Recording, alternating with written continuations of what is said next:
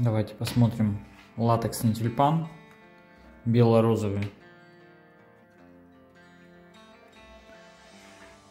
Из латекса выполнен и лист, и бутон. Такой мягкий на ощупь. Заломы не остаются.